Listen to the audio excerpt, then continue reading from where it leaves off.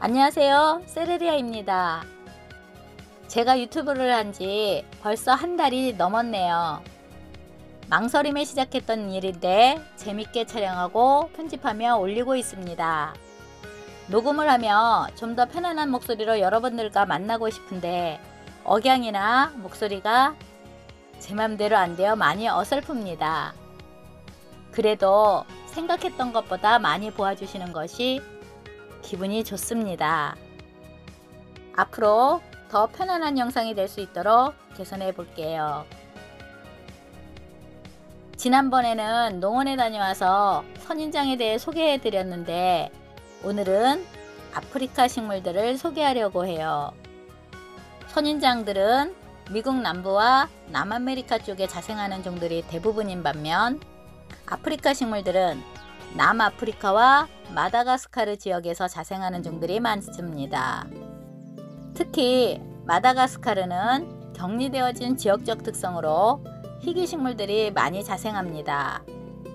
아프리카 식물들은 개근이 발달하거나 덩이줄기가 잘 발달되어 있어서 특이한 수영을 감상하기 좋습니다. 그 매력에 요즘 개건 식물들의 인기가 날로 치솟고 있지요. 가운데 보이는 이 식물이 코미포라 속 카다프인데요. 저는 저렇게 목피가 벗겨지는 모습이 매력 있습니다. 이 녀석은 파키포디움 속 브레비 칼릭스이고요. 몬타그라치입니다.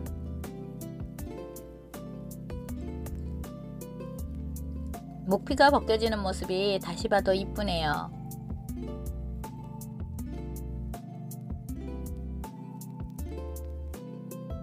둥근 몸통은 파키포디움 속 그락실리어스고요. 앞에 아카시아 잎을 닮은 아이는 세나 속 식물로 보이네요.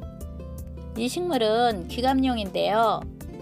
귀감용으로 유통되는 종으로 멕시카나와 엘리판티페스가 있는데요. 저는 개인적으로 엘리판티페스를 더 좋아해요. 하트잎도 귀엽고 몸통의 채색도 더 맑거든요.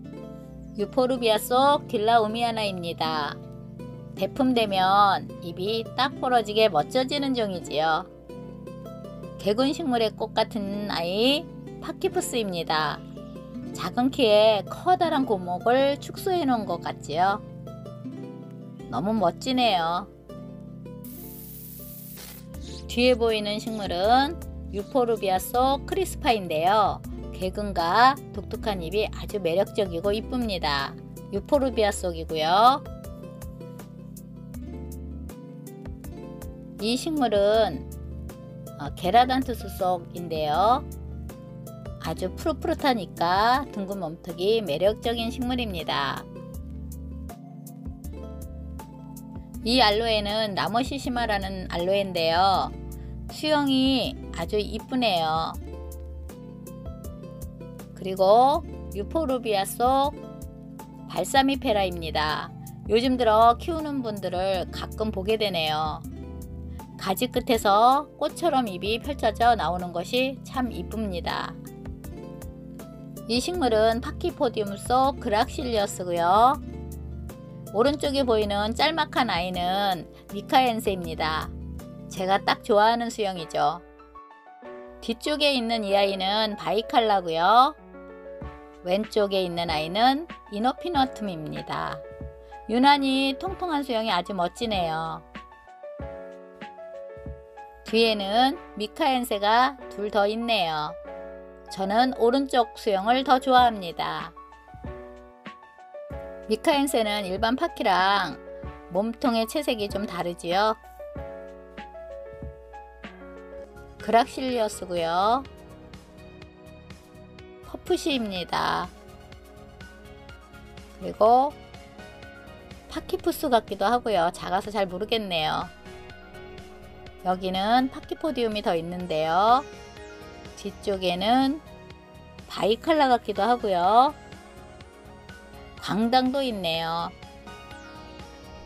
그리고 앞쪽에는 이노피나툼이 있습니다. 수영이 아주 통통하고 이쁘네요. 자세히 보면 가지 끝에 꽃대가 올라오고 있어요. 이 귀여운 두 파키포디움은 광당인데요. 너무 귀엽죠? 제가 하나 데리고 오고 싶었는데 참았습니다. 왼쪽에 보이는 기둥 파키는 나메릭으로 보이고요. 이거는 파키포디움 철화입니다.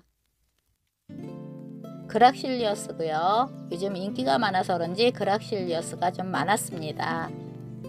이 푸른 식물은 투각이고요. 여기에는 서큘런턴과 비스피노숨이 같이 있는데요. 이 두 종은 꽃은 다르지만 몸통과 잎은 거의 흡사해서 구별하기 힘듭니다. 구입하실 때 꽃이 핀 걸 보고 구입해야 제대로 구입할 수 있지요. 이 식물은 페라고늄 카노슘입니다. 수영이 아주 독특하지요.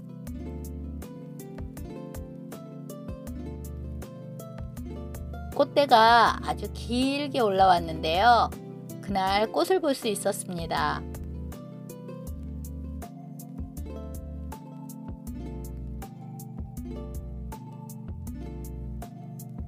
야생화 같은 느낌이지요. 사르코 카울론소 크라시 카울입니다. 멀티프이툼이랑 잎은 비슷한데 어, 이 아이는 가시가 있어요. 그리고 몸통의 채색도 좀 많이 밝지요. 파키포디움 속 브레비카울입니다. 파키포디움 중 가장 인기가 있는 종이지요. 그리고 카노숨이고요. 포우게리아 속 퍼프시입니다. 아주 독특하게 생겼죠. 그리고 이 두 귀여운 식물은 칼럼나리스인데요. 1m 이상 대품되면 정말 멋집니다. 그리고 괴마옥인데 수영이 아주 이쁘지요.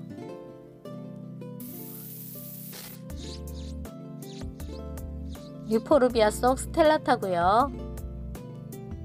파키포디움 속 에버넘인데요. 미색의 꽃을 많이 피웁니다. 그리고 이 식물은 아까도 소개한 몬타그라치인데요. 가까이서 확대하니 하트 잎과 흰 가시가 더 멋지네요.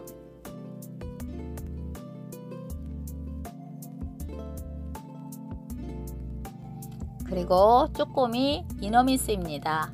너무 귀엽네요. 스텔라타고요. 이 식물은 파키포디움 속 브레비칼릭스입니다. 파키포디움 매니아로서 하나쯤 품고 싶네요. 너무 멋지네요. 멋있어요. 이 식물은 사르코 카울론 속 페터소니인데요. 사르코 카울론 속 식물들이 꽃이 정말 이쁘지요. 근데 재배가 좀 까다롭다는 단점이 있네요. 사르코 카울론 속 멀티피툼인데요. 무궁화꽃을 닮아서 인기가 가장 좋고요. 제 잎과 같은 세레리아입니다. 야생화 같은 꽃이 아주 이쁘게 핍니다. 틸레코톤 속으로 보이고요. 이 식물은 시포스텐마 속 식물입니다. 이 식물은 기가스인데요. 수입하면 뿌리 내리기가 너무 어려워서 어, 작아도 고가에 거래되는 식물입니다. 앞에 있는 둥근 식물은 아데니움 속 소말렌스거나 근연종으로 보이네요. 그리고 뒤쪽에 있는 식물은 아브리오메인데요. 거친 줄기와 앙증맞은 잎이 아주 매력적이네요. 그리고 아가베들입니다. 감상하시고요. 저는 파키포디움 속 식물들로 시작하여 아프리카 식물을 접하게 되었습니다. 지금도 가장 좋아하는 식물은 파키포디움 속 식물들입니다. 아프리카 식물들이 매력적인 만큼 참 까탈스러운 식물이지요. 서로의 재배 정보를 나누면서 조금이라도 가까이 할 수 있기를 바라는 마음입니다. 제가 부족한 부분은 댓글로 알려주시면 저도 재배에 많은 도움이 될 것 같습니다. 지금까지 유익하게 즐기셨다면 구독과 좋아요 부탁드립니다. 끝까지 시청해주셔서 감사합니다.